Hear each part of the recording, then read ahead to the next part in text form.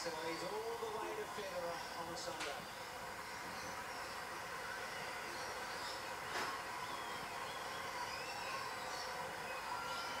What a week we're having here in Melbourne.